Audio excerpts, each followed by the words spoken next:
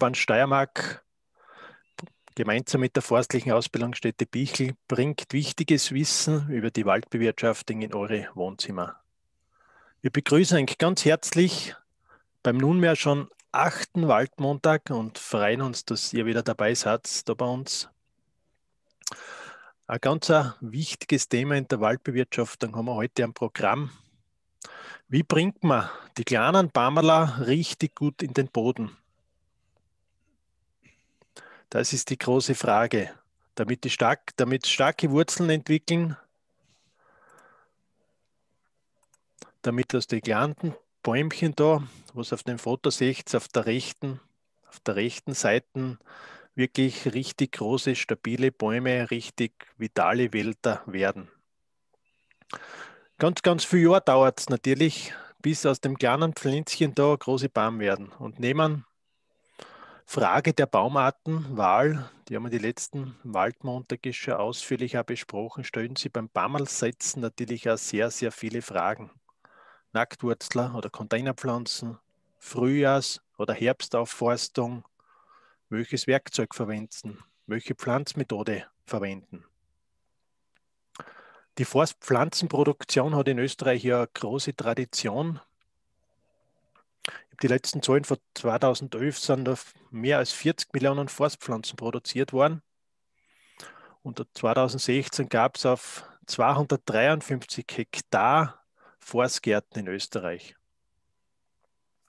Bei uns Menschen sagt man, wir müssen gut geerdet sein, damit uns nicht jeder Windstoß aus den Bahnen wirft. Und bei den Bäumen ist es ja nicht ganz anders, ist es nicht anders. Gut entwickelte Wurzeln bringen stabile Wälder. Und das fängt eben schon beim Bäumesetzen an. Unser heutiges Team für Enk heute wiederum von der Forstlichen Ausbildungsstätte Bichl in Diplom-Ingenieur Martin Grondorfer, der Leiter der Forstlichen Ausbildungsstätte und er ist ein besonderer Experte, wenn es ums Barmalsetzen geht. Von der Landwirtschaftskammer Steiermark, den Waldbaureferenten, Diplom-Ingenieur Sepp Krocker, er ist ja erwiesenermaßen auch der Experte für die Wertholzerziehung. Und damit man Wertholz gut erziehen kann, damit man Wertholz asten kann, braucht es natürlich einmal Bammerler, die ins Wachsen kommen. Unser Chef, der Diplom-Ingenieur Bernd Boinzit, hat es ja schon eingeloggt. Meines Wissens arbeitet der Bernd daheim sehr viel mit Naturverjüngung, aber weiß auch sicherlich ganz genau, wie er seine Bäume im Wald zum Wachsen bringt. Und unsere administrative Seite so im Hintergrund arbeiten die Katrin van Zeist von der Forstlichen Ausbildungsstätte Bichl, der Andreas Gaugel und von unserer Seite die Anna Fuchsbichler, der Paul Gebhardt und meine Wendigkeit. Wichtig für alle Zuschauer, ihr wisst es eh schon, wir zeichnen das Ganze auf und wird auf YouTube gespeichert. Spätestens am Donnerstag Vormittag könnt ihr das auf YouTube schon wieder anschauen. Für das Fragen stellen unten wiederum bei F und A einfach Fragen einschreiben. Wir beantworten die entweder direkt schriftlich oder in den Pausen zwischen den Präsentationen. Wiederum bringen wir drei kurze Präsentationen. Dazwischen diskutieren wir mit den Experten, beantworten einige Fragen und schauen, dass wir das recht locker über die Bühne bringen. Na gut, es ist höchste Zeit. Das Frühjahr steht vor der Tür. Es schneit zwar noch, habe ich heute gesehen, weil ich noch ein Foto gekriegt habe vom Halltal bei meiner Zöll, fast tiefster Winter. Wir sitzen da in Graz und wenn man da ausschaut, ist es schon grün. Da blieren schon die Blärmerler. Also höchste Zeit, um zum Bammelsetzen zu kommen. Und ich bitte Martin, damit er mit dem ersten Teil seiner Präsentation startet. Bitte, Martin. Herzlich willkommen beim Waldmontag. Es freut mich, dass ich Sie wieder begrüßen darf. Ähm, und heute geht es um eine Tätigkeit, die ich besonders liebe, das Aufforsten. Und es begleitet mich eigentlich schon seit der frühesten, frühesten Kindheit, so als Jugendlicher, wo ich mit ausgegangen bin und bei unterschiedlichen Waldbauern Bäume gepflanzt habe. Nun, ähm, Frage, sieht man die Präsentation? Passt, Martin, perfekt. Perfekt, wunderbar. Dann können wir ja loslegen. Also es geht heute um das Aufforsten und da stellt sich am Beginn logischerweise die Frage, was brauche ich dafür? Ähm, und manches wird sich vielleicht überschneiden zu meinen vor, äh, schon Vorträgen, die ich im Vorhinein äh, gehalten habe über die Baumartenwahl. Lichtbaumarten brauchen Licht, das heißt, sie brauchen eine große Fläche. Ähm, Faustformel vielleicht, die man dazu sagen kann, so hoch der Baum im Endbestand, so groß mindestens die Freifläche. Natürlich ein paar ergänzende Worte dazu, ob es jetzt eine Nordseite oder eine Südseite oder Südhang ist. Das wird natürlich auch eine wesentliche Rolle spielen. Überhaupt, wenn keine Naturführung möglich ist und ähm, Max Handlos hat es ja schon erwähnt, es gibt viele, viele Waldbesitzer, die auf Naturführung setzen. Und wenn das möglich ist, ist es natürlich toll und unbedingt zu begrüßen. Aber es gibt natürlich Standorte, wo das ewig lang dauert, bis sich eine Naturführung einstellt. Und hier wäre sicherlich eine Aufforstung empfehlenswert. Auch Flächen, die zu starker Verunkrautung neigen, wo Naturführung allein durch, den, durch die Lichtkonkurrenz von bei äh, bei Kräutern äh, und Konkurrenzvegetation einfach nicht mehr rauskommt oder ausgedunkelt wird. Hier wäre eine Aufforstung sinnvoll. Oder wenn extreme Standortsverhältnisse herrschen, sei es Frost, sei es Trockenheit oder auch zu viel Wasser. Der große Vorteil bei der Aufforstung ist, dass ich eine geeignete Herkunft verwenden kann. Und da werde ich später noch ein paar Folien dazu haben. Und klar ist es, wenn man solche Flächen im, ähm, vor sich hat, dass hier mit Naturfängung und in, mit Zeiträumen, die wir Menschen betriebswirtschaftlich äh, als wesentlich erachten, nicht erreichbar sind und hier eine Aufforstung sinnvoll ist oder zumindest eine Teilaufforstung sinnvoll ist, ist klar. Ja, welche Vor- und Nachteile hat nun eine Aufforstung? Man ist unabhängig vom Vorbestand und von der Füngungsbereitschaft des Bodens. Und ein riesiger Vorteil der Aufforstung ist natürlich die beliebig nach eigenen Vorstellungen wählbare Baumartenanzahl, Anzahl, die ich genau nach den Bedürfnissen, die die einzelne Baumart hat, auch äh, mischen kann, in Gruppen mischen kann und es ist beliebig wählbar. Das ist nicht hundertprozentig logischerweise möglich aus irgendeiner Naturverjüngung. Natürlich Nachteile gibt es auch wenn man das große Glück hat, Naturverjüngung stellt sich ein, dann spare ich mir Kosten. Die Bäume kosten Geld, das Pflanzen kostet Geld und in der Regel sind aufgeforstete Pflanzen, gepflanzte äh, Bäume auch äh, von unterschiedlichen Gefahren bedroht, zum Beispiel ja auch wieder Witterungsextreme, Verunkrautung und Kulturschädlinge und all der Schutz, der kostet logischerweise auch Geld. Und die Pflanzenherkunft habe ich schon erwähnt. Und da haben wir in Österreich ja ein, ein wunderschönes Konzept, nach dem man sich einmal äh, richten kann. Die, einerseits die Wuchsgebiete, andererseits die natürliche Waldgesellschaft abhängig von der Seehöhe. Warte mal. Man kommt ja im Laufe der Zeit immer drauf, was man das alles verwenden kann. Ah, das funktioniert jetzt so nicht.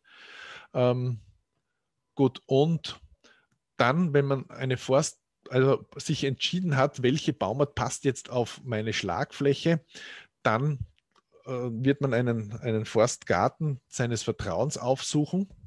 Ob Wurzelnackt oder Ballenpflanze, werden wir noch genauer erläutern, welche Vor- und Nachteile das hat. Aber es ist wesentlich einmal anzugeben, was man überhaupt möchte. Einerseits bei der Baumart bin ich mir überzeugt, das ist ziemlich klar.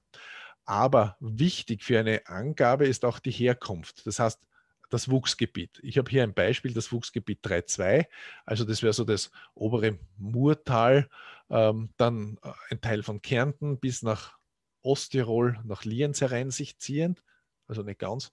Ähm, das wäre natürlich anzugeben. Wesentlich auch die Seehöhe. Man sieht hier die unterschiedlichen Waldgesellschaften.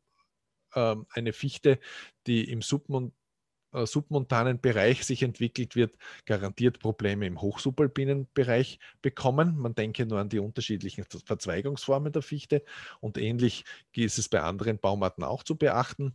Also die Seehöhe und wir Menschen sind ein bisschen faul, deswegen haben wir die Nuller gleich weggestrichen. Das heißt 800 bis 1000 Meter wäre hier dieses Pflanzmaterial äh, muss tauglich sein. Und dann gibt es noch zwei Angaben, die dem Waldbesitzer ganz wichtig sind. aber auch dem Forstpflanzenproduzenten, der will das wissen, entweder das Alter oder die Größe in Zentimeter.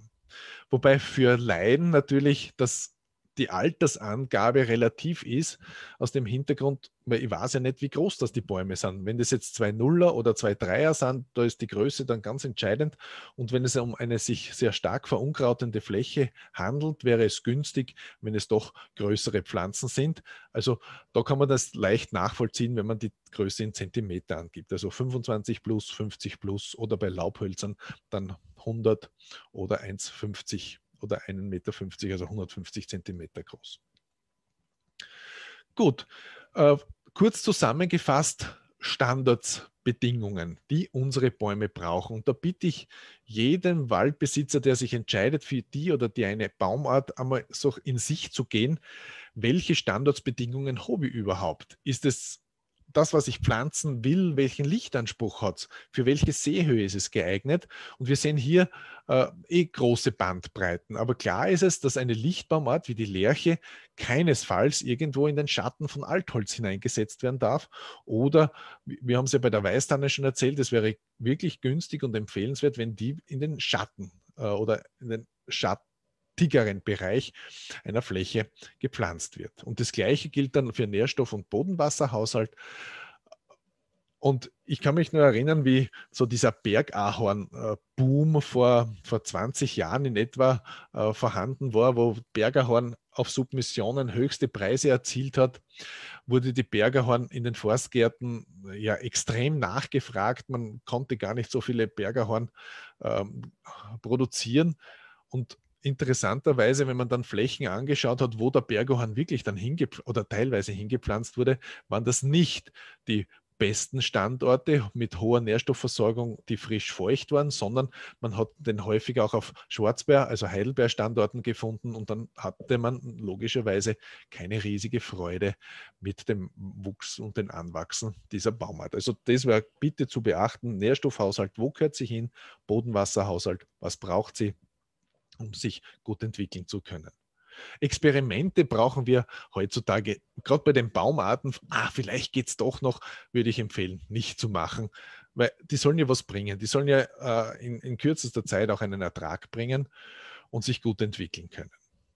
Nun die, die, die Frage mal überhaupt von der Definition, wenn wir von Wurzelnackt und Ballenpflanze sprechen, sieht man das hier auf dem Bild wunderschön. Die Ballenpflanze hat einen in, ist in einem Container, in einem Ballen erzogen, auch einmal verschult worden und die Wurzeln sind permanent mit einem Erdsubstrat ummantelt. Also die Wurzeln werden, kommen im Prinzip außer beim Herausziehen aus dem Topf niemals mit frischer Luft in, äh, in Kontakt. Das andere wären die wurzelnackten Bäume. Hier sieht man das Wurzelsystem, ein wunderschönes Feinwurzelsystem hat sich um diesen Baum entwickelt auch mit Mykorrhiza, das ist bei beiden zu sehen, äh, versehen, die garantiert beim Anwachsen zusätzlich auch noch den Baum, den Baum unterstützen. Aber Wurzelnackt sind herkömmlich in Forstgärten gezogen ähm, als Sämlinge, später dann auch verschult und werden dann verkauft. Die Erde ist aber nur lose ähm, um, um das, um, um, am Wurzelballen äh, verhaftet. Das, diese Folie habe ich mir ausgeborgt von einem bekannten Forstpflanzenproduzenten und mir ist die deswegen wichtig, weil das geht dann hier um, um den, naja, wann kann ich Bäume pflanzen? Und wesentlich für mich ist, sind, ist diese, dunkel, diese dunkelgrüne Linie, wo eine Wurzel, wann und eine Wurzelaktivität im Jahreskreislauf äh vorherrscht, wann Wurzeln wachsen. Und das wissen wir einerseits im Frühjahr nach der Schneeschmelze, wenn der Boden aufgeht und äh, die Bäume zu wachsen beginnen, beginnen sie zuerst bei der Wurzel zu wachsen. Nachher kommt dann das Sprosswachstum. Und abschließen Abschließend wird der Baum auch mit einem Wurzelwachstum im Spätsommer, Spätherbst und abhängig von der Seehöhe kann man das natürlich dann auch entweder im August, September oder später hinein in den Oktober auch noch nutzen. Der Baum schließt mit einem Wurzelwachstum ab. Also Frühjahrsaufforstung, Herbstaufforstung sind sicherlich Möglichkeiten, um hier diese Wurzelaktivität ausnutzen zu können. Und jetzt, wann soll ich meine Bäume setzen? Soll ich die jetzt im Frühling oder im Herbst pflanzen? Das ist natürlich so eine Gretchenfrage. Und erfahrungsgemäß, besonders jetzt äh, in, im Klimawandel, bemerke ich, dass wir häufig traditionell zu spät dran sind. Äh, denn wir, wir haben schon bemerkt, sobald der Boden offen ist, beginnt der Baum mit einem Wurzelwachstum. Das heißt, das kann auch im März schon sein. Ähm, und hier gerade diese, diese Periode wäre vernünftig hier äh, auszunutzen. Wenn man zu lange wartet, Spross, das Sprosswachstum äh, beginnt langsam, das Wurzelwachstum geht wieder zurück und dann kommen vielleicht noch ein paar Trockenperioden, so wie in den letzten Jahren, diese sehr, sehr trockenen Frühjahrsmonate äh, und dann kann es zu großen Ausfällen kommen. Also der Vorteil ist, wenn ich es rechtzeitig pflanze, dass die Winterfeuchtigkeit ausgenutzt wird. Denn der Baum startet ja mit einem Wurzelwachstum. Der große Vorteil, natürlich muss ich Konkurrenzvegetation auf dieser Fläche auch erst entwickeln und ich bin ja früher da. Früher da, das heißt, ein Ausdunkeln der Pflanze, zumindest in den ersten Monaten, ist nicht gleich äh, wahrscheinlich. Und es beginnt äh, auf äh, den umliegenden Flächen das erste Grün zu sprießen. Das heißt, Esungsangebot sollte in Hülle und Fülle vorhanden sein dass eine Frühjahrsaufforstung, ich hoffe zumindest, kaum vom Wild beeinflusst wird. Der Nachteil ist natürlich, wir haben keinen direkten Draht zum Petrus, dass wir äh, einfach von weiteren Niederschlägen extrem abhängig sind. Und das hat, wie schon erwähnt, in den letzten Jahren zu Ausfällen geführt, wo dann plötzlich im April und im Mai kaum Niederschläge äh, gekommen sind und dann viele aufgeforstete Flächen wieder, äh, wo Bäume abgestorben sind. Äh, zwei Baumarten möchte ich äh, vorstellen, die mit, mit einem verspäteten, und betone ich verspäteten Wurzelschnitt bei wurzelnackten Bäumen sehr, sehr sensibel reagieren. Das wäre die Lerche und die Birke.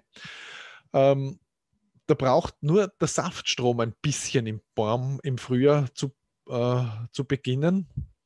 Und die Bäume, wenn ich dann noch anschließend einen Wurzelschnitt durchführe, dass ich äh, bei der Aufforstung ähm, effizient arbeiten kann, nicht zu große Löcher äh, graben muss, äh, sterben leider dann sehr, sehr viele Bäume wieder ab, weil sie sehr, sehr sensibel sind äh, und diesen Wurzelschnitt schwer vertragen. Und bei Nadelholz ergibt sich dann bei jeder Frühjahrsaufforstung die Rüsselkäferproblematik, der im Prinzip jeder Schlagfläche folgt. Aber dazu möchte ich bei einem anderen Waldmontag sprechen. Aber die Rüsselkäferproblematik ist bei Nadelhölzern nicht zu unterschätzen. Und der Vorteil und Nachteil der Herbstaufforstung der Baum schließt mit einem Wurzelwachstum ab. Großer Vorteil, das heißt, er, er verwurzelt sich noch in dem frischen Pflanzloch, äh, hat noch eine Wurzelenergie und im Prinzip ist man dadurch, dass die Sprossphase zurückgeht, von der Folgewitterung nicht mehr so abhängig. Man hat auch in der Regel nicht so diesen zeitlichen Druck wie bei der Frühjahrsaufforstung, denn es kommen die, äh, die kürzeren Jahreszeiten, alles zieht sich zurück, auch die Tätigkeiten in der Landwirtschaft werden weniger. Ähm, und man hat grundsätzlich, was den Herbst betrifft, September, Oktober in manchen Regionen in den tieferen Lagen, vielleicht auch sogar im November noch die Möglichkeit, Bäume zu pflanzen. In Hochlagen ist die Herbstaufforstung sowieso empfohlen, weil wann weiß ich, dass die Flächen ausappern? Die Forstpflanzen sind schon fertig, sind abholbereit, aber oben im Hochgebirge, wo ich Bäume pflanzen möchte, liegt noch ewig der Schnee. Und hier könnte ich mit, mit einer Herbstaufforstung sicherlich Problemen ausweichen, besonders was äh, die, das Zeitmanagement betrifft.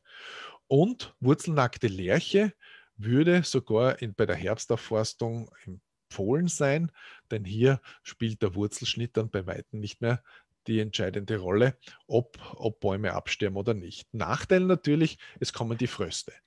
Und wenn ich hier einen Standort habe, der nass, feucht und dicht ist, könnte der Barfrost, also das Ausheben der Pflanze, ein Thema sein.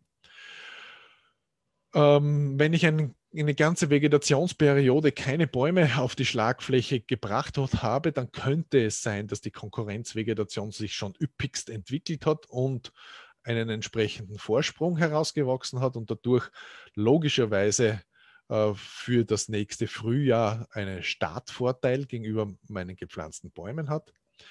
Ich setze Leckerbissen auf meine Schlagfläche. Mit Wildverbiss ist zu rechnen, denn ähm, klarerweise ist, wenn man die Nährstoffverteilung in den Knospen anschaut, bei jeder Forstpflanze ein höherer Nährstoffanteil zu sehen als bei Naturverjüngung und dadurch werden diese Bäume in der Regel lieber verbissen. Und die Frage, sind unsere Forstgärten auch wirklich auf eine, eine eher in Vergessenheit geratene äh, Aufforstungsmethode oder zumindest zeitliche äh, Herbstaufforstung, stehen genügend Pflanzen zur Verfügung. Naja, ähm, vielleicht bei der Herbstaufforstung ergänzen gegen den Barfrost. Wesentlich ist, dass ich das und das zieht sich mehr oder weniger bei allen Pflanzmethoden durch. Und besonders bei der Herbstaufforstung ist es wichtig, dass ich den Ballen oder das frische Pflanzloch mit Humusreisig abdecke, um das Durchfrieren des Wurzelballens zu verhindern und damit auch das Ausheben der Pflanze verhindert werden kann. Äh, und empfehlenswert bei der Herbstaufforstung ähm, wäre auch, dass gerade Laubhölzer und Lärchen bereits äh, ihre Blätter äh, abgeworfen haben oder zumindest im Abwerfprozess sind. Ähm, weil das garantiert mir, dass die Nährstoffe, die in den Blättern mehr oder weniger aufgebaut wurden, langsam auch im Spross sich zurückgezogen haben und dann für die nächste Aufforstungsperiode oder das nächste Anwachsen äh, wieder zur Verfügung stehen wäre empfehlenswert. Und natürlich, ähm, wenn man bei der Frühjahrsaufforstung schaut, möchte ich ergänzen, natürlich sollen die wurzelnackten Bäume noch nicht angetrieben haben. Das wäre wirklich günstig. Gut, erste Fragerunde würde ich sagen. Und dann gehen wir zum Thema, die Bestandesstabilität beginnt an der Wurzel. Max. Danke, Martin, für deinen ersten Teil. Bernd ist auch da. Bernd, der Frage an dich. Magst du daheim bei dir einen Unterschied zwischen Containerpflanzen oder Nacktwurzler auf die Baumarten bezogen? Du sagst, manche Baumarten pflanzt aus Nacktwurzler, andere aus Containerpflanzen. Oder wie tust du da dabei? Also du hast ja eingangs schon erwähnt, also wir versuchen da vorwiegend mit Naturverjüngung zu arbeiten. Wobei sich natürlich in einem Wuchsgebiet Fichte, Tanne, Buche äh, anbietet, wenn man Kalamitätsflächen hat und 2008 diese Windhoflächen mit Baumatten zu, äh, zu bestücken, sage ich jetzt einmal so, die sehr lichtintensiv sind. Also in dem Fall waren es hauptsächlich Lärchen äh, beziehungsweise Laubbäume. Äh, und dort habe ich für mich die Erfahrung gemacht, dass es äh, besser ist, Lerche in Nacktwurzelform zu pflanzen, als wie in Containerform. Ja. Das hängt sicher aber vom Boden ab, vom Zeitpunkt des Pflanzens.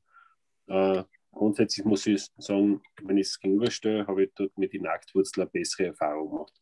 Hingegen, wenn ich eine Tanne hernehme, äh, würde ich eher die, die, die Topfpflanze bevorzugen, weil einfach die, die Pfahlwurzel äh, de facto nicht beschädigt ist und das, wie gesagt, wenn ich eine Wurzel abschneide, de facto nicht mehr so, äh, auch wenn sie dann im Wesentlichen weiter wächst. Herbst- oder, oder Frühjahrsaufforstung, glaube ich, muss jeder für sich selbst entscheiden. Da spielen auch andere Faktoren mit, äh, von Zeitmanagement äh, hin bis zur Möglichkeit, also, also die, die Flächen, wenn ich, wenn ich einer Verunkraut schaue, dass ich nicht schaue, dass die, die und ja, wie gesagt, also in Summe so die Containerpflanzen und wie gesagt, wenn man, wenn man auch einer mitnimmt, äh, hängt es von, von, von der Entscheidung ab, wie man, wie man mit dem Schutz umgeht.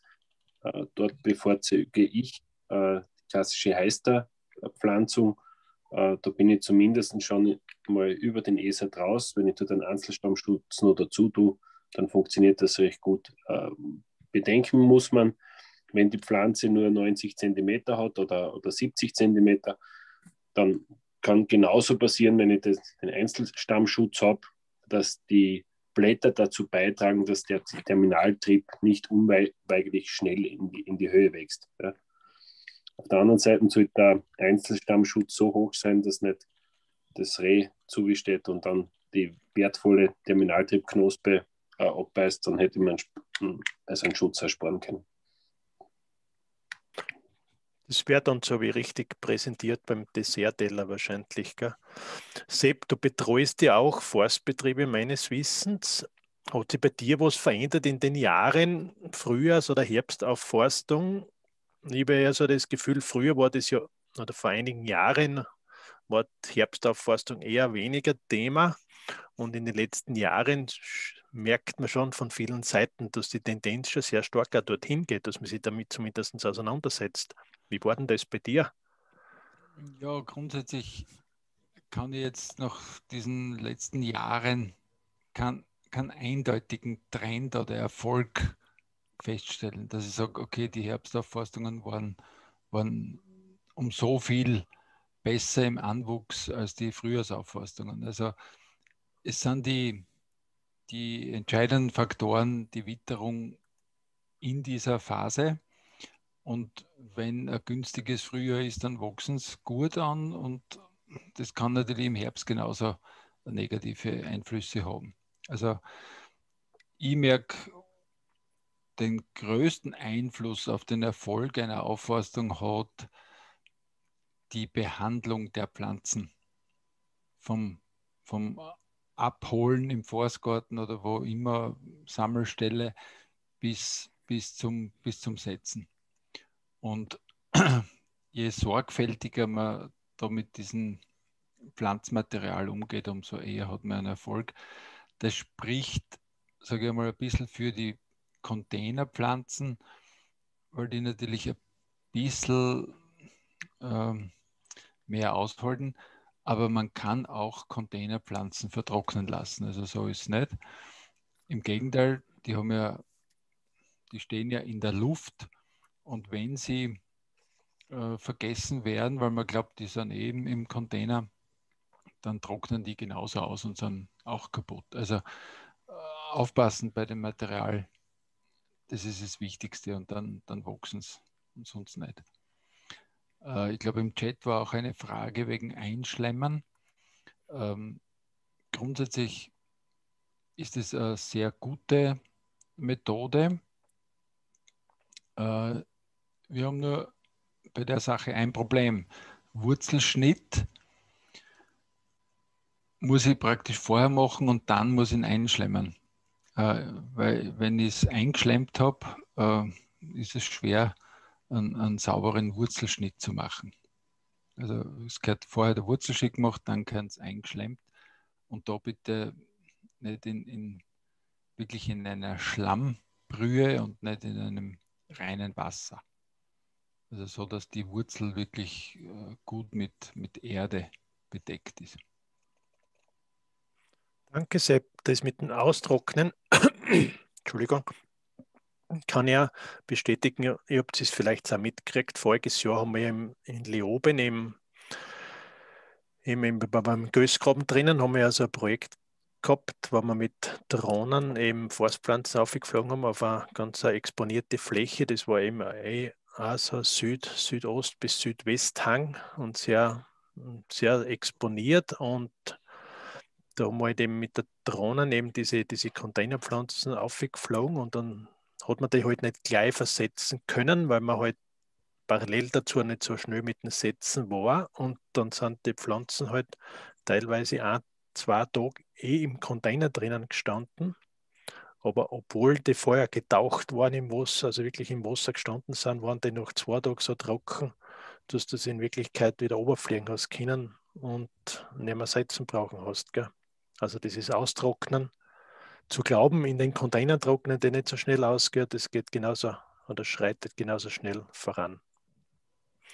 Martin Grundorfer, magst du mit dem zweiten Teil deiner Präsentation weiter tun, bitte. Jo, Bestandesstabilität beginnt an der Wurzel. Ähm, ihr seht alle diese wunderschöne Tanne. Sagen wir uns ehrlich, wer gräbt nach der Aufforstung einige Jahre später den Baum wieder aus? Ja, wäre im Prinzip blöd, oder? Aber um zu sehen, um zu sehen, ähm, wie sich die Wurzel entwickelt hat bei unterschiedlichen Aufforstungsmethoden, ist es so punktuell einfach äh, versuchsmäßig sicherlich interessant. Und wenn man hier diese Wurzel dieser Tanne sieht, die sich wirklich kerzengerade nach unten entwickelt hat, Tanne ist ja ein Pfahlwurzler, muss ich sagen, das Pflanzverfahren, das bei dieser Tanne verwendet wurde, ist sicher goldrichtig gewesen. Nun, welche Qualitätsanforderungen an die Pflanze? Und da wurde ja schon in der Diskussion im Vorfeld einiges äh, vorweggenommen. Ähm, andererseits wichtig ja die Herkunft. Pflanzengröße richtet sich an die Standortsverhältnisse, an die Nährstoffverhältnisse, ähm, an die Vegetationskonkurrenz, ähm, welche Pflanzengröße ich wähle. Stufiger Aufbau ist, ist wichtig, äh, um einfach in unserer gebirgigen Landschaft auch äh, gegen Schneeschub und, und ähm, äh, Widerstand aufbauen zu können, einfach stabil auf der Fläche stehen zu können. Frische Zustand ist selbsterklärend und Ernährungszustand auch. Ich gehe davon aus, dass unsere Forstpflanzenproduzenten in Österreich auf diese äh, wesentlichen Punkte genau schauen und im Prinzip sind solche Pflanzen, wenn die äh, auch nicht verkaufbar und werden im Vorfeld ja schon ausgeschieden. Das schöne Wurzelsystem, das ist nicht immer gleich erkennbar. Und da würde ich aber jedem Waldbesitzer auch raten, auf die Wurzel zu schauen. Man braucht jetzt im Prinzip jetzt nur diese äh, Fichte als Ballenpflanze anschauen. Im oberen Bild sieht man, dass die Wurzeln wunderschön nach unten streichen. Das ist ein Qualitätskriterium für mich. Und das ist, wenn ich Ballenpflanzen kaufe, nehme ich ein, zwei äh, Bäume aus dem Topf heraus, klopfe die Erde ab und wenn die Wurzeln wunderschön nach unten streichen, ist das Pflanzmaterial in Ordnung. Wenn ich hier diesen Blumentopfeffekt in der Wurzel bemerke, das heißt, die Wurzeln kreisen im Topf herum, darf der Forstpflanzenproduzent sich die Bäume behalten. Die brauche ich nicht, denn diese Wurzelrichtung bleibt zumindest in dem Bereich, was einmal deformiert ist, sicherlich erhalten. Welches Konzept man wählt, da werden wir dann später bei der Aufforstung noch genauer sprechen. Ob das eine Topfpflanze, äh, Containerpflanze ist, ob es eine Topfpflanze ist oder wurzelnackte Pflanzen sind. Das ist die Entscheidung des Waldbesitzers. Beides hat Vor- und Nachteile. Und die, äh, ja, der gute frische Zustand ist entscheidend. Und allein äh, gehe ich davon aus, dass im, im, im Pflanz im Forstgarten alles perfekt vorbereitet ist, aber irgendwann müssen die Bäume ja von A nach B transportiert werden. Unterschiedliche Möglichkeiten stehen hier äh, zur Verfügung, die Pflanzenwurzel frisch zu halten. Und ein Beispiel möchte ich hier mit diesem Frischhaltesack sehen, wo wurzelnackte Bäume äh, transportiert werden können. Und ich betone transportiert. Also große Lagerkapazitäten hat man einerseits nicht und andererseits natürlich sollen die Bäume auch nicht so lange da drinnen liegen, denn dann wird wird es in diesem Sack durch so eine äh, Kompostwirkung auch mehr oder weniger warm und die Pflanzenwurzeln beginnen auch zu vertrocknen. Gut, ähm, die Pflanzen, die transportiert werden, bitte mit Planen abdecken, Windeinfluss, Sonneneinfluss so weit wie möglich so reduzieren. Und ich werde dann im Anschluss noch eine Folie zeigen, äh, wo genau dargestellt wird, wenn die Wurzeln eine gewisse Zeit lang in der Sonne liegen, was das dann für den Anwuchserfolg und für die Wüchsigkeit der Pflanze bedeutet. Gut, und da ist sie schon, diese Folie, auf die ich ähm, äh, hingewiesen habe. Was heißt mangelnder Schutz der Pflanzenwurzel? Führt zu schlechtem Abwachsen und Absterben der Pflanze. Das sind Fichtenpflanzen, wurzelnackte Pflanzen. Wenn keine Sonneneinstrahlung drauf ist, wurde beobachtet, dass 25 bis 30 Zentimeter Trieblänge bei den neu ausgetriebenen Bäumen äh, die Regel war. Zwei Minuten gab es kaum Ausfall, aber 15 bis 20 Zentimeter Trieblänge. Also man merkt, es hat sich schon um die Hälfte äh, der Zuwachs reduziert. Sechs Minuten Sonneneinstrahlung, 10 Prozent waren hin. 10 Minuten, 10 Zentimeter Trieblänge, 10 Minuten Sonneneinstrahlung, 20 Prozent waren hin, nur noch 5 Zentimeter Trieblänge und bei 30 Minuten waren, ich sage mal, fast alles hin. Also da bitte wirklich darauf Rücksicht nehmen, dass die Sonneneinstrahlung bei der Wurzel nicht, dass dort keine äh, vorhanden ist.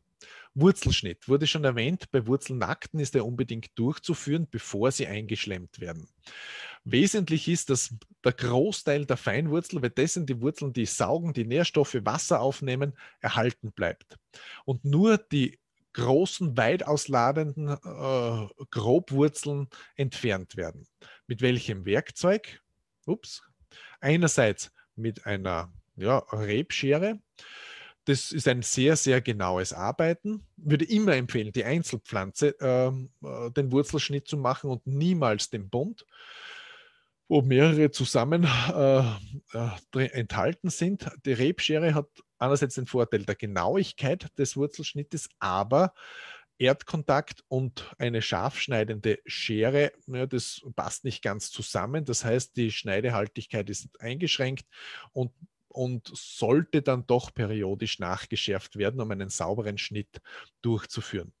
Eine bessere Schneidhaltigkeit hat die Axt, hat die Axt, aber hier betone ich noch einmal, bitte unbedingt den Einzel, beim Einzelbaum den Wurzelschnitt durchführen und nicht äh, in den 25er äh, oder 50er Bund einfach die zu langen Wurzeln herunterzuhacken. Man ist einfach viel zu ungenau.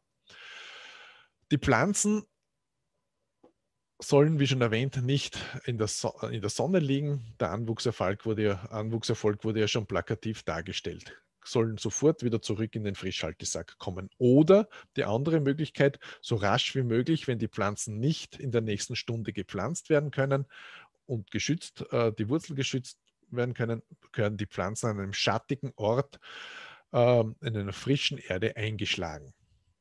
Gut.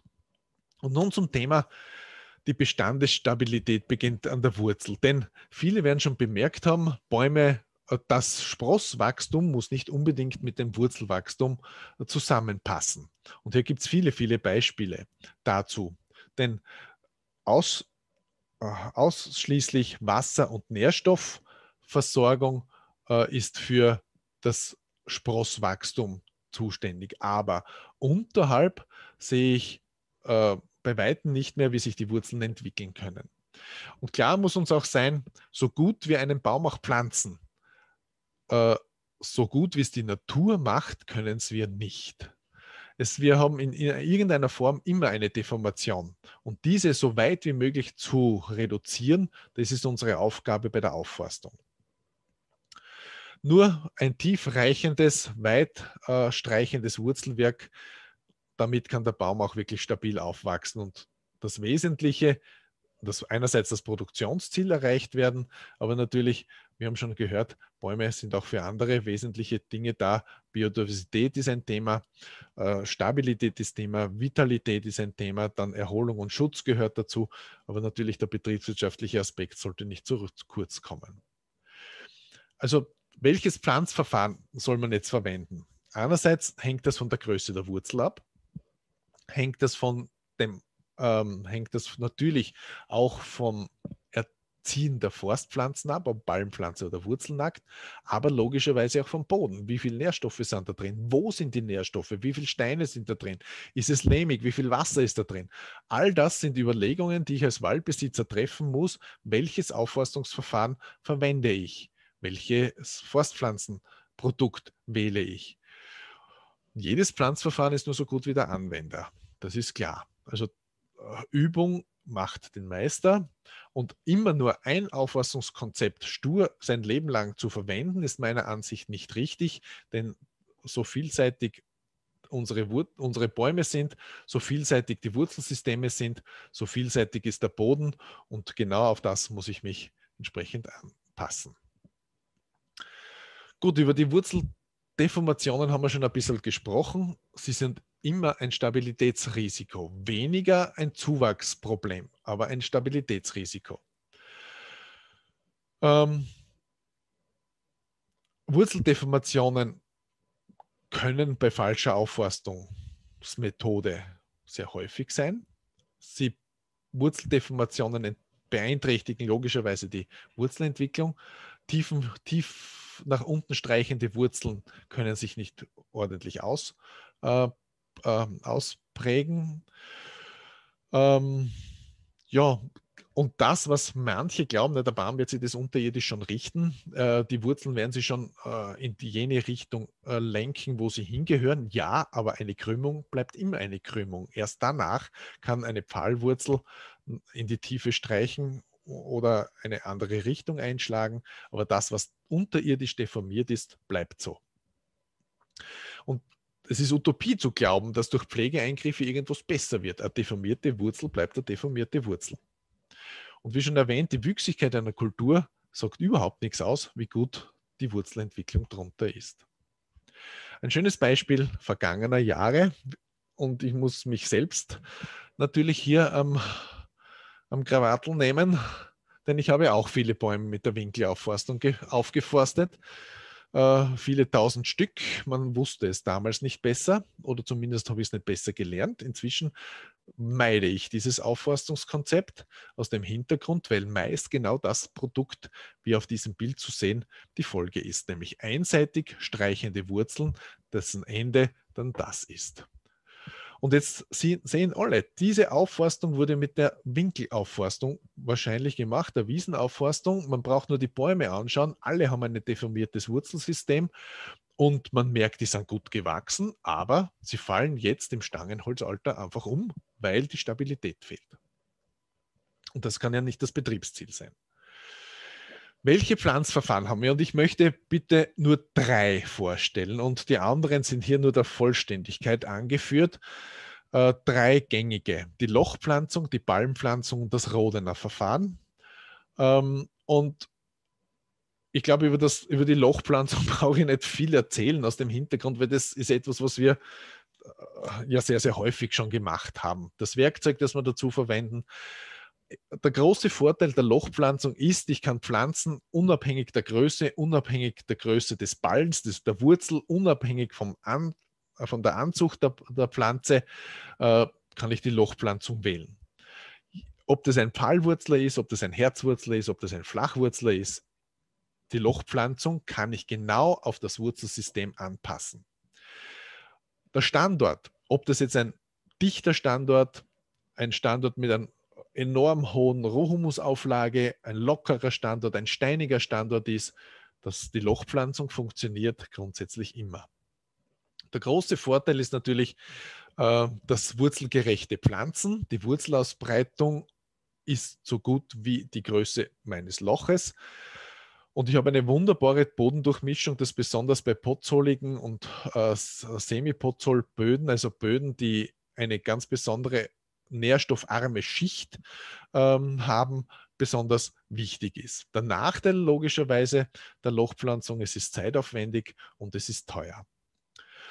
Ich kann auf die Exposition besonders eingehen, ich kann auf Trockenstandorte, auf feuchtere Standorte mit der Lochpflanzung eingehen. Also ich finde die Lochpflanzung auch heutzutage noch immer zeitgemäß, weil sie perfekt auf Standortsbedingungen und Wurzelbedingungen eingehen kann. Wesentlich natürlich, ich muss das Loch genauso groß machen, wie es braucht. Gut, das zweite Verfahren ist die Ballenpflanzung. Wir haben ja über Containerpflanzen schon gesprochen. Ähm, hier gibt es in Österreich einen Marktleader, der genauso wie hier die, die Skizzen sind, äh, die Pflanzen produziert, auch ein sogenanntes Pflanzrohr zur Verfügung stellt. Der große Vorteil, und da betone ich nahezu vom Standort unabhängig, ein paar Dinge muss man natürlich bei der Ballenpflanzung auch be beachten, bei der Containerpflanzung. Äh, der große Vorteil, in der Vegetationszeit bin ich sehr unabhängig. Wesentlich ist nur auf das Vertrocknen der Pflanzen im Ballen zu achten. Also wenn ich im Frühjahr nicht gleich zur Aufforstung dazukomme, dann heißt es und es die Bäume dann lagere, dass die periodisch und das heißt fast täglich gegossen werden müssen. Und bitte nicht am Mineralboden einfach die Container hinstellen, zwei, drei Monate, vier Monate. Man erlebt dann auch seine blauen Wunder, besonders wenn die Wurzeln dann durch den Container durchgewachsen sind und die Container sich nicht mehr abheben lassen. Gut, ähm, gute Nährstoffverzeugung der Pflanze möchte ich hier jetzt nicht besonders hervorheben, denn auch die wurzelnackten Pflanzen sind im Forstgarten perfekt versorgt worden. Äh, der große Vorteil ist die hohe Pflanzleistung, die wirklich bei diesem Konzept bestechend ist, aber auch zur Schlampigkeit äh, dann neigen lässt. Wenn man ein paar Dinge nicht beachtet, kann es hier zu Hoppala und zu bösen Überraschungen kommen. Bei richtiger Erziehung habe ich ein schönes Wurzelwachstum. Darauf habe ich ja schon hingewiesen. Jetzt, die Hoppalas möchte ich ähm, unbedingt noch erwähnen, die ganz wesentlich sind bei der Ballenpflanzung, überhaupt bei allen Aufforstungsmethoden, außer bei der Rode, beim Rodener Verfahren, das ich anschließend vorstellen möchte, ist es wesentlich, dass der Humus, das heißt die unverrottete Nadelstreu, Blattstreu abgezogen wird. Und das kann man sich vorstellen, dass das bei Rohhumusböden, also bei diesen Schwarz, bei Heidelbeer-Standorten, doch ein ziemlicher Aufwand ist. Aber der muss weg, denn die Pflanze, die Wurzel gehört in den Mineralboden.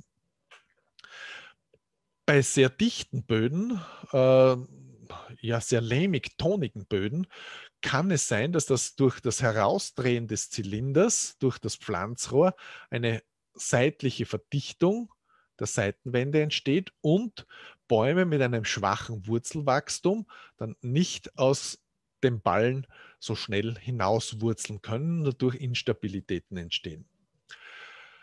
Und na, natürlich von der Physik her gibt es auch Grenzen. Wenn da nur Steine sind, kann ich mit der Ballenaufforstung nicht arbeiten. Und wenn da nur Sand ist und äh, der Zylinder nur zusammenrieselt, geht es auch nicht. Aber Gott sei Dank, ich sage mal, das ist jetzt geschätzt, 70 bis 80 Prozent unserer Böden haben eine relativ gute Durchlüftung und dieses Aufforstungskonzept ist problemlos einsetzbar. Der große Vorteil, wie schon erwähnt, die Zeitunabhängigkeit in der Vegetationszeit immer pflanzbar äh, und das wirklich ergonomisch und rasche Pflanzen sind große Vorteile. Gut, und das Rodener Verfahren äh, ist für kleinere Sortimente, für Tiefwurzler geeignet mit großer Wurzellänge. Also das wäre das Konzept für die Tanne, für die Eiche. Das kann ich besonders empfehlen anwendbar auf allen Standorten ohne große Schlagräumung. Das heißt, wenn du die Äste noch kreuz und quer herumkugeln, also das ist so das Konzept für gescheit Faule, ähm, ist dieses gut umsetzbar. Ob das jetzt ein lehmiger Boden ist, ob das ein steiniger Boden ist, geht es wunderbar.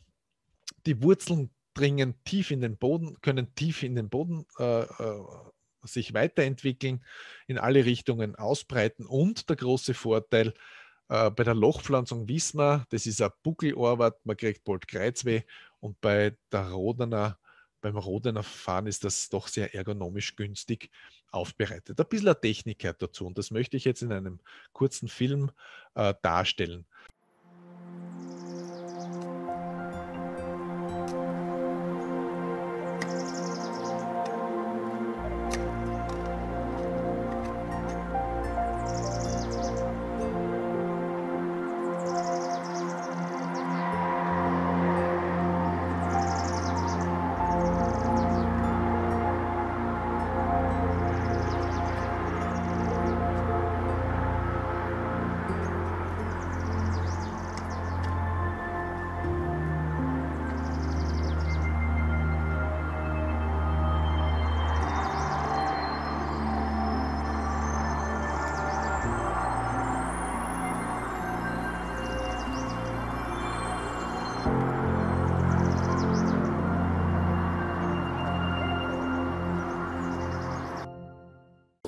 Jetzt werden wir ein paar Tannen mit der sogenannten Rodener Haue pflanzen, mit dem Rodener Verfahren. Die Haue wurde dafür besonders für Tiefwurzler besonders entwickelt. Sie hat ein 25 cm großes äh, Blatt aus Federguss, äh, Feder, Federstahl, dann ein Rotgussflansch und dann sehr knickfestes Material, aus dem der Stiel ist. In dem Fall ist es ein Hickory-Stiel. Ja.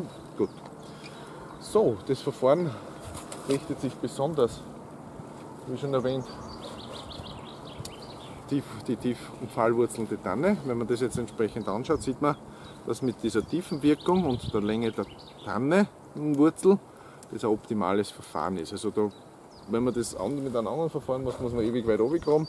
Aber mit dem, mit dieser besonderen Schlagtechnik ist man bald einmal drunter, sofern der Boden logischerweise passt. So, beim ersten Schlag ist es immer so, in meinem Fall als Rechtshänder, linker Fuß nahe der Schlagstelle, mit dem ersten Schlag einmal schauen, ob es leicht geht. Also das ist wieder ein Boden, der butterweich ist, der zwar auf der gesamten Fläche nicht so sehr präsentiert, aber das ist jetzt einmal sehr einfach. Also da geht es einmal gut. Ein paar Zentimeter weiter vorne wieder hineinschlagen und entsprechend das Loch vorbereiten.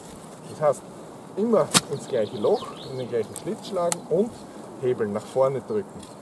Der große Vorteil ist einfach auch die Ergonomie, dass ich hier im Prinzip alle Tätigkeiten aus, vom Oberkörper und von der Hüfte her entsprechend mache. Rauf und runterplumpsen lassen, die Schwerkraft da zusätzlich und die Fliehkraft auch noch ein bisschen. Der letzte Schlag, nochmal ordentlich aufhebeln. Da seht ihr, ich bin jetzt 25 cm unten und trotzdem hebelt sich das gut. Hebel zurück, vielleicht noch ein bisschen nachputzen und bin jetzt da, da unten und mache durch das Hebeln, schaut mal, trotzdem ganz ein schönes Material. Jetzt hole ich meine Tanne raus. Gut, jetzt da ziehe ich da die Haare raus und putze das Material, Erdmaterial, also rund um den Wurzelkörper rundherum, bis alle Wurzeln da fest schön ummantelt sind. Jetzt kommt eine ganz zentrale Geschichte. Ich stoße mit der Hand einfach hinter den Baum rein und drücke ein bisschen. So, jetzt ist der Hohlraum, der eventuell durch die hebelnde äh, Tätigkeit da sich unten gebildet hat, zu. Der Baum steht bombenfest da drinnen, also zwei Fingermethode kennen eh alle. Zwei Fingermethode, halt bombenfest. Jetzt wird das kleine Loch noch zugemacht, eventuell ich weiß ja nicht, was der liebe Petrus in den nächsten Wochen vorhat. Da noch ein bisschen Humusmaterial, es wird Dunstungsschutz drüber. Und der Baum kann schon wachsen. In 100 Jahren sehen wir uns wieder. Ja, besser gegangen als, als erwartet. Ähm, du musst nur aufpassen, dass die nicht dann in 100 Jahren wieder ausgraben. und ihr seht, ich habe nicht geschnauft. Ich habe sogar setzen können und und sprechen. Sensationell. Das muss man auch einmal nachmachen. Na gut, Spaß beiseite. Ähm, nun die nächste Fragerunde. Bitte schön. Und dann gehen wir zu den Pflanzverbänden und wie weit soll ich meine Baum auseinandersetzen. Dankeschön, Martin.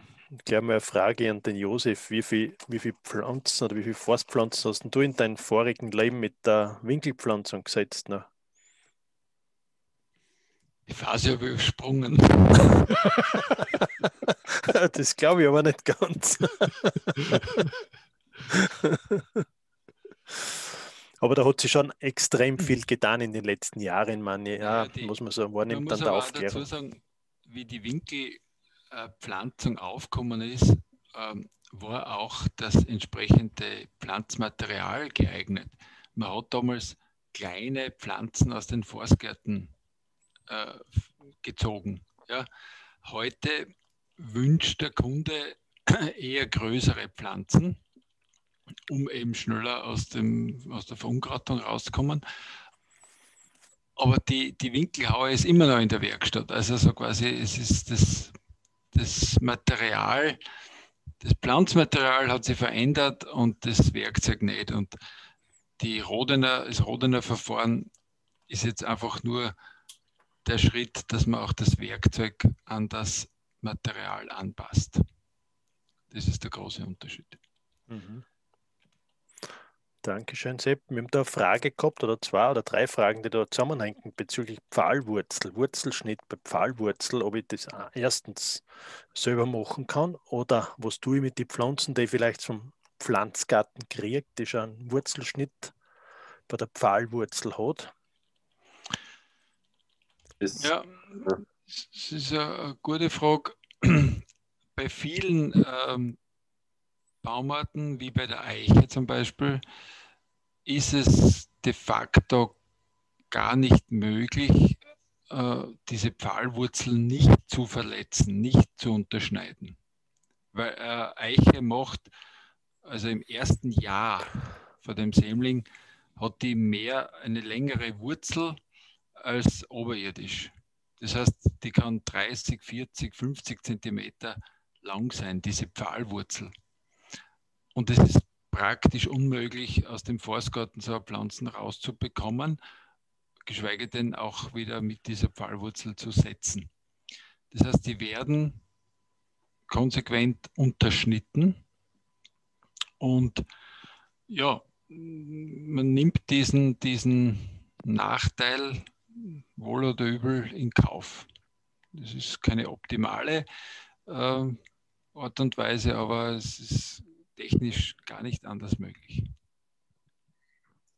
Also ich würde nur unterstreichen, dass es wichtig ist, dass diese Pfahlwurzel zumindest erkennbar ist. Ja, es war letztens auch eine Frage, äh, wenn ich, äh, soll ich die Pfahlwurzel auch äh, zurückschneiden? Dort ist das Gleiche. Also wenn man zurückschneidet, so zurückschneiden, dass die Pfahlwurzel erkennbar bleibt, weil zumindest habe ich dann eine Wurzeldeformation drinnen, aber der Baum weiß, wo die Richtung hingeht. Ja? Also das würde ich äh, empfehlen.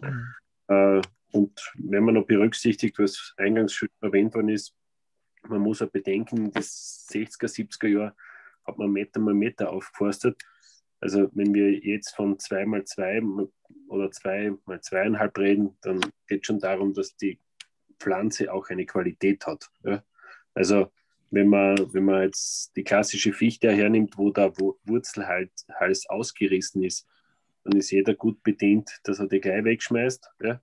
Und da spart er sich die Arbeit, weil, wie gesagt, im Wesentlichen wird er sonst ein Jahr drauf ähm, genauso nochmal nachsetzen, weil es ist hundertprozentig oder zu einem sehr großen Prozentsatz äh, aus dort. Danke, Bernd. Eine Frage, die mir vielleicht zwar schon beantwortet worden ist, aber sicherlich auch sehr spannend ist für viele, und zwar bezüglich Wuchsgebiete. Muss ich fürchten, dass ich von manchen Forstgärten Bäume nicht kriege, entsprechend meines Wuchsgebietes? Ähm, das kann sein, gerade wenn man, wenn man Kalamitäten hat, äh, da kann ja äh, nicht im nächsten Jahr schon darauf reagieren. Es gibt Ersatzherkünfte, ja, da kann man ein bisschen jonglieren, äh, aber im Wesentlichen sollte man sich an diese Buchsgebiete halten. Und wie gesagt, äh, es wird natürlich eine Möglichkeit geben, wenn ich jetzt zum Beispiel sage, äh, ich, habe Fichte ist da, ja, oder, oder die Lerche ist nicht vorhanden, dann spare ich halt ein paar Flecken aus und setze die ein Jahr später noch. Das wird bei der Lerche jetzt kein Thema sein. Äh, in Summe summarum ist es auch fördertechnisch wichtig, dass die Forstpflanzen aus einem zertifizierten Saatgut, äh, aus zertifizierte Saatgutbestände kommen, damit man wirklich äh, ein gutes Material hat. Der Nachteil ist immer, wie gesagt, wenn man einen Mais ansetzt oder Haber oder Gersten, siehst du am nächsten Jahr, ob es passt oder nicht. Ja. Ähm, ich glaube jetzt, dass es kann jeder nachvollziehen, dass es sinnlos ist, mit, mit einem Forstgarten äh, Produzenten 20 Jahre später zu, darüber diskutieren, äh, ob das jetzt gut oder schlecht war. Ja. Ich sage, in die 60er, 70er Jahren war die Mischung recht gut. Ja. Das, aber, das war damals der Standard. Das sollte jetzt nicht der Standard für die Zukunft sein, sondern man sollte wirklich äh, sich darauf verlassen können, dass die heimischen Forstgärten wirklich eine gute Qualität liefern, für was man bestellt. Wer mag noch mal kurze Information darüber geben oder so? Warum ist es so essentiell wichtig, auf die Wuchsgebiete zu achten? Was sind also die Hauptkriterien, warum das wirklich ja. ein ganz wichtiges Thema ist? Ich meine, die, die Wuchsgebietseinteilung, die der Martin da vorher gezeigt hat, die ist ja streng genommen schon überholt. Äh, wir, wir haben ja gerade in der Steiermark im Moment diese dynamische Waldtypisierung, wo die Flächen quasi nach anderen Kriterien erhoben werden. Und diese klassische alte Wuchsgebietseinteilung nach Kilian, die war ja, da gibt es eine scharfe Linie. Und wenn man hineinzoomt in diese Karte, dann ist die auch sogar ganz genau beschrieben, bis zu dem Pass, bis zu dem Graben, bis zu dem Talschluss und so weiter. Ja. Ähm, und natürlich weiß man mittlerweile, dass sich äh, die Genetik und die, diese Herkünfte nicht so an, an, diese, an so eine Linie halten können. Das ist in der Natur gar nicht, gar nicht möglich. Das heißt, man hat sie vielleicht in der Vergangenheit diese Herkunftsgebiete auch ein bisschen zu, zu streng gesehen. Ja? Äh, soll jetzt nicht heißen, dass sie nichts bedeuten, aber wir gehen jetzt in der Genetik eher von, von Wolken aus, ja? wo, wo gewisse Bedingungen, woraus setzt sich das Herkunftsgebiet zusammen? Das sind einfach die klimatischen äh, Rahmenbedingungen, die zu einer Ausbildung einer, einer besonderen oder genetischen Ausbildung geführt haben. Und dass das laufend im Wandel ist, das wissen wir mittlerweile auch. Und wir wissen mittlerweile auch, dass sich die Pflanzen tatsächlich schneller an diese veränderten Umweltbedingungen anpassen können. Das haben sie schon immer können, nur wir wissen es erst seit ein paar Jahren. Ähm, diese sogenannte Epigenetik führt dazu, dass Umwelteinflüsse äh, im Keimlingsstadion gewisse Gene, die vorhanden sind, ein- oder ausschalten können. Und das ist ein, ähm, das wissen wir jetzt, das haben wir vor 30 Jahren noch anders gelernt. Also auch wir lernen dazu. Und insofern äh, relativiert sich dann auch diese alte äh, klassische Herkunftskarte. Also man, man, man, betrachtet das jetzt nicht mehr so, ähm, so ganz, ganz auf den Millimeter genau, weil die, die Pflanzen sich auch nicht an diese Linien und, und Abgrenzungen halten können. Was? Dankeschön, Josef. Martin, bevor du den letzten Teil deiner Präsentation magst, vielleicht magst du auf die eine Frage noch eingehen oder kurz sagen, wahrscheinlich, dass es das nächste Mal behandelt wird. Rüsselkäfer gibt es bei der Herbstaufforstung im nächsten Jahr nicht? Äh, sicher gibt es einen Rüsselkäfer nächstes Jahr. Klar, ähm, äh, alte Stöcke, Rüsselkäfer im ersten, zweiten, dritten Jahr kann ein Thema sein äh, möchte das jetzt nicht hundertprozentig sagen, dass es ein Thema sein muss, aber es kann natürlich sein. Es hängt immer vom Standort und von der Grundpopulation ab, ob es ein Thema wird. Gut. Magst du den letzten jetzt, Teil? Ja. ja, genau. Jetzt mhm. geht es um Pflanzverbände Abstände und ich bitte, das ist jetzt sehr überblicksweise gehalten. Äh, einerseits fortgeschrittene Zeit, andererseits äh, so die wesentlichsten Merkm äh, die wesentlichsten Dinge jetzt nur herausgehoben. Hier eine Gruppen, eine horstweise Aufforstung für die nicht wipfelschäftige Eiche, geschützt. Martin, dein Bildschirm müsstest du uns teilen, bitte. Ja.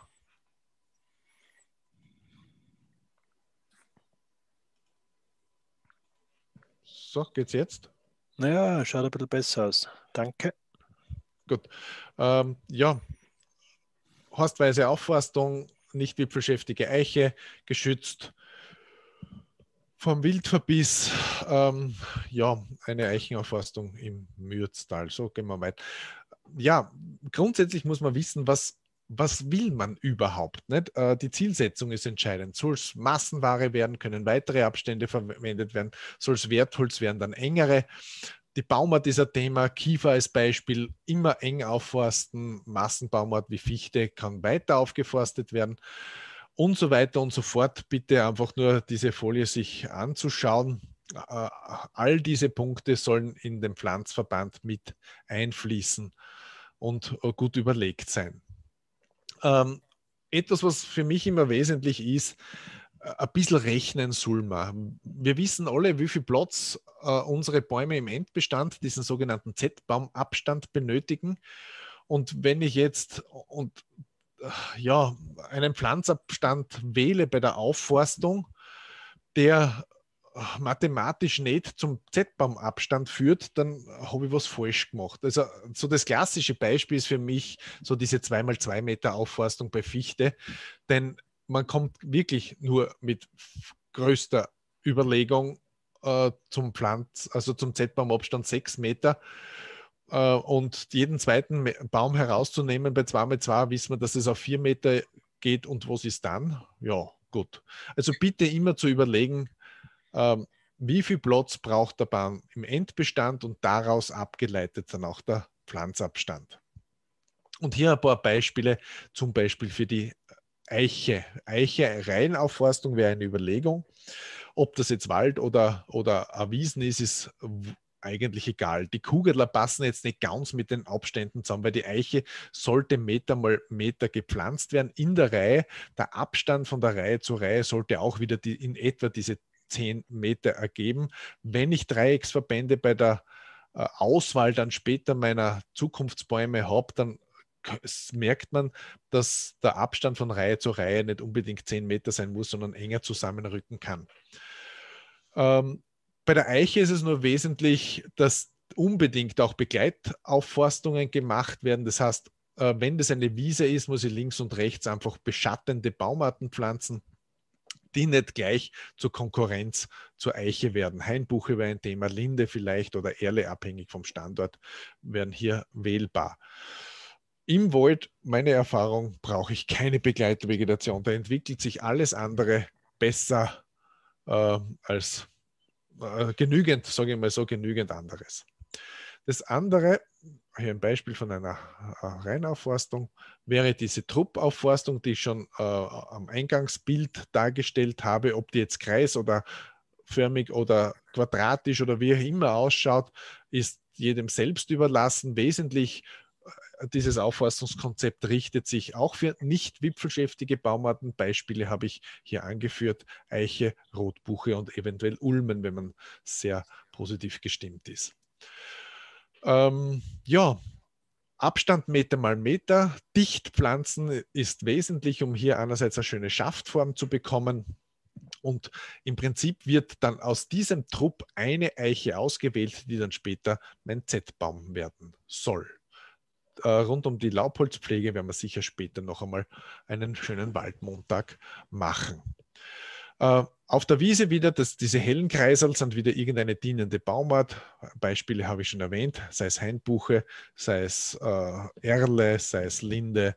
Also Baumarten, die äh, leicht zurückgeschnitten werden können, wenn sie zur Konkurrenz werden und wieder äh, vegetativ gut umsetzen können. Und für all jene Baumarten, die äh, jetzt wipfelschäftig sind, auch hier einige Beispiele dargestellt. Ahorn, Kirsche, Nuss, für alle positiv gestimmten. Die Esche ähm, werden zu, zu dritt, zu fünft äh, zusammengesetzt, um hier eine Auswahl zu haben. Abstand von, äh, von Baum zu Baum in der Zelle Meter mal Meter. Der Abstand der Zelle bis zur nächsten Zelle ist wieder der Z-Baumabstand, je nachdem, wie viel die Baumart braucht. Füllhölzer sind wie hier auf dem Bild zu sehen unbedingt notwendig, um einerseits schöne Schaftformen und eine natürliche Astreinigung bei Laubholz zu erreichen. Wie viele Bäume man jetzt wählt, ob das jetzt fünf, drei oder auch nur einer ist, das hängt von der, von der Einstellung und von der Sparsamkeit des Einzelnen ab. Äh, wir, die, wir haben mit fünf Bäumen gute Erfahrungen gemacht, weil dann hat man wirklich auch genügend Bäume, um den schönsten äh, in dieser kleinen Gruppe, in dieser Zelle auswählen zu können. Gut, ja, und jetzt werden alle fragen, wo ist das Nadelholz? Naja, die Abstände haben wir schon kurz angesprochen. Bei Fichte würde ich empfehlen zwischen 2,5 und 3 Meter, um einerseits auf den Abstand äh, des Z-Baumes zu kommen. Ähm, wenn man Angst hat, die Bäume wären zu grobastig, bei Fichte, Tanne, Lerche, was auch immer, sind Abstände halt von eineinhalb Meter sinnvoll, bedeutet aber, die Pflegeintensität muss höher sein, um stabile Bäume in Zukunft erziehen zu können. Ja, und ich bin am Ende ein bisschen überzogen. Ja, bitte um Verzeihung. Aber wenn jemand mehr erfahren möchte rund um die Aufforstung, nur wenn man es selbst tut, dann kann man es auch wirklich. Ähm, ein Seminar vom Waldverband Mürztal und der Forstlichen Ausbildungsstätte Pichel am 30.03. um 13 Uhr. Und da gehen wir Barmal setzen. Danke für die Aufmerksamkeit. Das wär's. Bitte um weitere Fragen. Dankeschön, Martin. Auf Facebook haben wir eine Frage einerkriegt und zwar gibt es Standardkostensätze, was das Aufforsten kostet. Da gibt es eine Tabelle, wo man das ableiten kann. Ja, es gibt einerseits Zeitvorgaben, wie lange man für äh, Ballenpflanzung, für Lochpflanzung, für Rodener Aufforstung für 100 Stück in etwa braucht. Aber das sind halt von bis, ähm, von bis äh, Angaben, die sich, die sich nach, ähm, nach dem Grundgestein, also nach dem Boden, äh, nach der Pflanzengröße in gewissem Maßen richten. Also es gibt da Zeitvorgaben, die man äh, hernehmen kann für Kalkulation. Und andererseits äh, spielt das Gelände logischerweise auch eine Rolle, weil äh, alle verstehen, dass auf am Gelände wieder Film gedreht äh, wurde, wo man fast mit der Nase auf der Leiten ansteht, es etwas länger dauert, einfach von der Geländeform her, als wenn das einfacher äh, geneigt wäre. Und zusätzlich zu den, Pflanz, zu den Pflanzen an sich, naja, das ändert sich eh jährlich. Wenn jetzt ja ein bisschen teurer, bitte mein.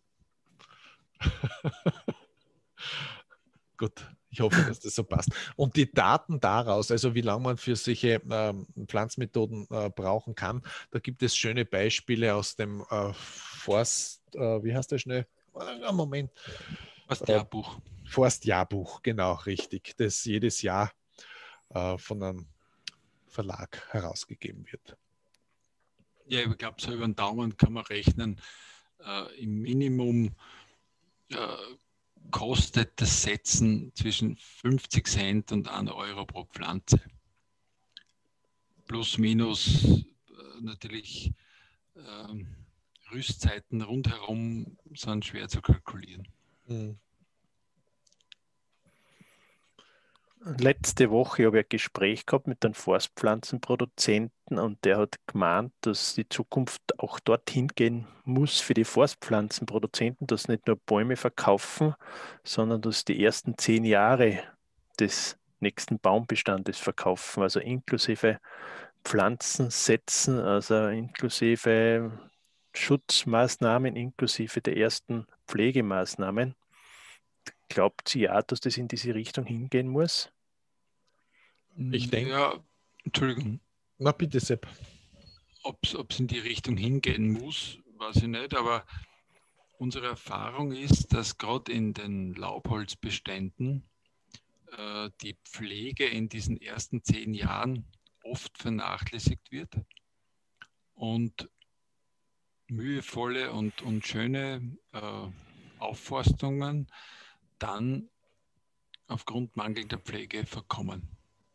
Also wenn eine Forstpflanzenproduktionsfirma sich zum Ziel setzt, dass sie auch ähm, stabile Bestände begründet, dann wäre es ähm, ein toller Schritt. Die Frage ist, wie sich das kostentechnisch dann ausgeht. Genau, also das wäre genau von jedem Waldbesitzer äh, durchzurechnen, was kostet dann das ganze, gesamte Paket. Andererseits bitte all das, was man selber tun kann. Äh, und ich hoffe auch gerade für eine Waldentwicklung gerne tut, das lasse ich mir nicht aus der Hand nehmen. Also ich, ich kann mir es vorstellen, ähm, ähm, die BAM setze ich selber und das Unkrautsicheln macht mir anderer. Aber das, so ist das Paket sicherlich nicht gemeint. Bernd, wie siehst du das? Gibt es konkrete Anfragen von, von Mitgliedsbetrieben von, beim Waldverband Steiermark, die in diese Richtung denken oder gerne Dienstleistungen in diese Richtung hätten? Man muss in erster Linie mal unterscheiden, äh, wenn man bäuerliche Betriebe hernimmt und man hat kleinere Schläge oder kleinere Verjüngungsflächen, dann wird das grundsätzlich selbst gemacht, weil es natürlich auch ein Arbeitseinkommen ist. Wenn man aber hingegen große Kalamitätsflächen hat, wo man wirklich fünf oder zehn oder 15 Hektar hat, äh, da muss jedem bewusst sein und da appelliere ich auch an jeden, man soll sich nicht un unweilig selbst umbringen. Ja? Also es macht einen Unterschied, ob ich allein 10 Hektar versuche durchzuarbeiten oder ob es nicht Sinn ergibt, äh, das mit 10, 15 Dienstleistern äh, in, in Anspruch zu nehmen, weil die Arbeit, was danach nachher noch ist, ja, im Sinne von, wo vielleicht was zum Nachbessern ist, wo ein Formschnitt zu machen ist, wo vielleicht ähm, bei, bei Laubholz äh, eine Wertastung schon geht. Das, das ist eine Arbeit, die ist genauso nur zeitfüllend, aber man hat zumindest die grobe Arbeit einmal gemacht. Ich glaube, das wäre das Entscheidende und dass man, das, dass man sich auch drüber traut und sagt, okay, das kann der andere machen, äh, weil ich selber nicht zusammenkomme. Das Schlimmste, was passieren kann, ist gerade im Laubholz, und das hat der äh, Kocker selbst schon gesagt, wenn ich die, die ersten zehn Jahre diese Pflege vernachlässige, ja, dann wäre es vollkommen wurscht gewesen, auch wenn ich nichts hingesetzt hätte oder wenn ich eine Fichte eingesetzt hätte, das hat keinen, das hat keinen Wert. Ja, ich produziere Brennholz. Ja. Und das sage ich immer wieder, also man hat in die 60er, 70er, 80er Jahre vielleicht auch Fehler gemacht mit der Meter mal Meter Aufforstung, man hat die Pflege, also sprich, man hat die Erstaufforstung, die Läuterung vergessen. Äh, die Fichte war die einfachste Baumart. Ja. Unabhängig davon Wildstand, Pflege etc. Ja. Die Challenge ist wirklich, wo ich sage, wenn man von Eichenbeständen reden, dann ist dort ein dermaßen ein Know-how-Sprung drinnen, wo ich sage, okay, wir können, die, wir können die, die beste Genetik setzen, wir können die beste, das beste Pflanzverfahren äh, wählen, wenn die Pflege hinten und die Bewirtschaftung nicht dementsprechend darauf ab, äh, abgestellt wird, sprich für die nächsten zehn Jahre, dann sind alle Müden und Kosten im Vorfeld absurdum. Mhm. Äh, generell, Max, glaube ich, dass die Entwicklung langfristig absolut in diese Richtung geht. Wir sehen es einfach auch von der äh, Waldbesitzerstrukturveränderung. Es gibt immer mehr sogenannte hofferne äh, Waldeigentümer oder Eigentümerinnen und die auch eher bereit sind, diese Waldbewirtschaftung an einen dritten Dienstleister zu vergeben. Ja, weil es ist oft gar nicht mehr selber praktisch können oder, oder eben auch die Zeit dazu haben. Und, und den, den Fall, den der Bernd angesprochen hat, von, von großflächig und Kalamitäten, der ist sowieso klar, dass in Forstbetrieben äh, da zusätzliches fremdes Personal Arbeiten übernehmen muss, weil es ja gar nicht von der Fläche anders möglich ist. Ne? Das Entscheidende bleibt immer nur meines Erachtens, Entschuldige, nur kurz einhängen, mit der Natur zu arbeiten.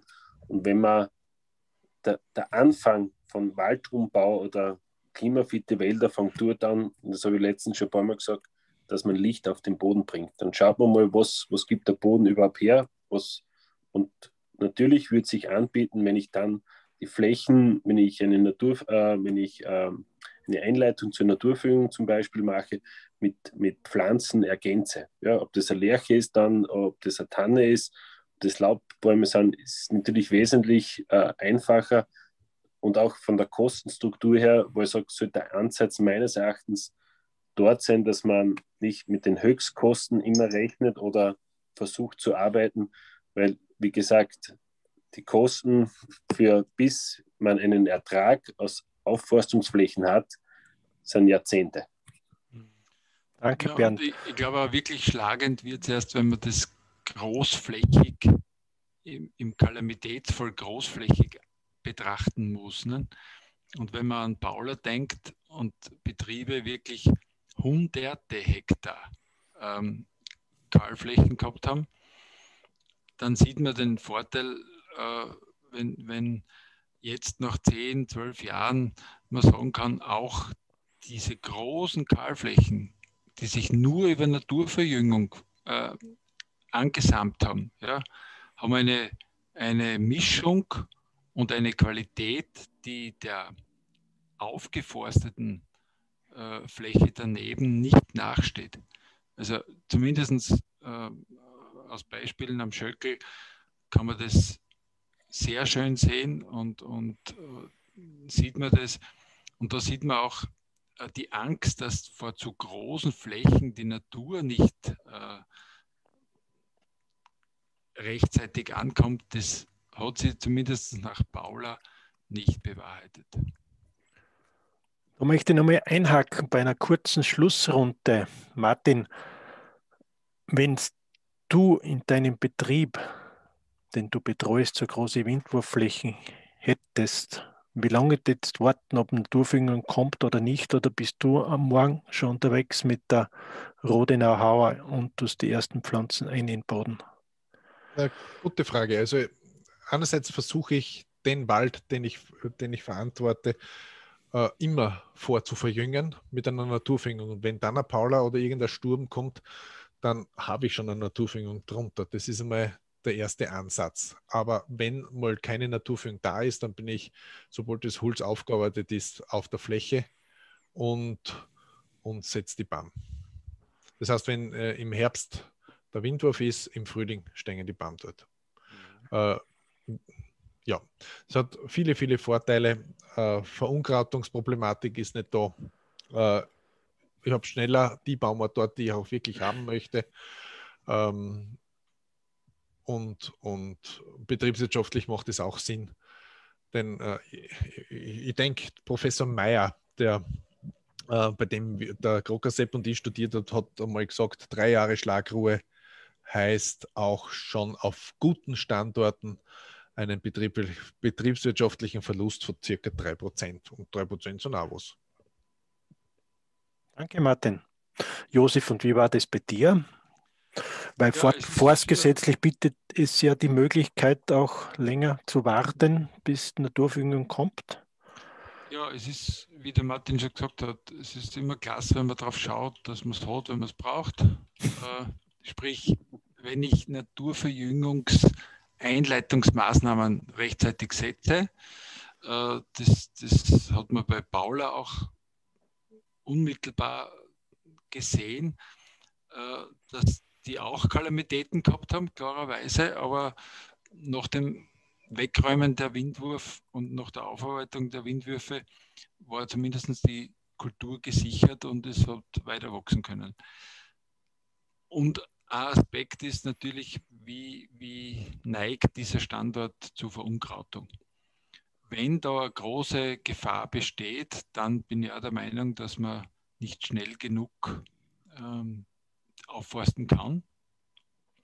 Wenn das nicht der Fall ist, äh, und wir sehen auch bei vielen Flächen in höheren Lagen, also über 1000, 1200 Meter Seehöhe, äh, wirkt Bodenverwundung Wunder. Und es kommen auf, auf so wirklich künstlich verwundeten Flächen, äh, da kostet dann das Hektar Aufforstung unter Anführungszeichen mit einem Minibagger 500 Euro. Ähm, und es kommen alle, alle Baumarten, die in der näheren Umgebung vorhanden sind, und Samen auf dem Rohboden toll an. Also, und ich habe dann mit dieser Naturverjüngung halt alle Vorteile, jetzt was die Wurzelentwicklung betrifft. Also wir sollten die, die, die, das Potenzial der Naturverjüngung nicht unterschätzen, auch auf großen Flächen und auch, ähm, ja, wo man glaubt, jetzt war kein Samen, ja, jetzt, jetzt geht das nicht. Der Samen ist schon da. Der ist schon im Boden und wartet nur auf entsprechende Keimbedingungen. Dankeschön, Josef. Bernd, ihr wart ja, glaube ich, auch betroffen von Paula. Ja. Wie habt ihr zugewartet oder schon Naturführung gehabt am Boden? Ich habe das, wie gesagt, ich habe keine Fichte gesetzt. Ja. Wir, haben die Kahlflächen, wo nichts da war, mit Lerche äh, ergänzt. Oder wo jetzt sehr wenig Naturführung da war, teilweise mit, mit ein paar Buchennester äh, oder mit ein paar einzelnen Ahorn äh, das Ganze ein bisschen abgerundet. Und im Wesentlichen ist genauso, es ist eine Fichte drinnen, die was als Naturführung gekommen ist. Äh, das will nur, also weil der Krocker selbst schon gesagt hat, das ist alles da. Ja. Die Frage ist nur, wie man sie in dem Dschungel dann äh, quasi zurechtfindet. Und wie gesagt, es gibt unterschiedliche Baumarten, die also unterschiedliche Lichtbedürfnisse hat.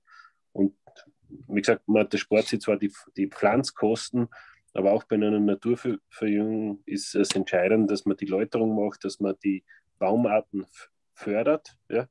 Äh, weil sonst wird man es genauso verlieren, äh, gerade bei großen Schadereignisse ist der Wildeinfluss äh, ein großes Thema. Wenn ich den Wildeinfluss, das war letztens auch das große Thema, äh, äh der Wildeinfluss ist der halberte Waldbau, wie es so schön heißt.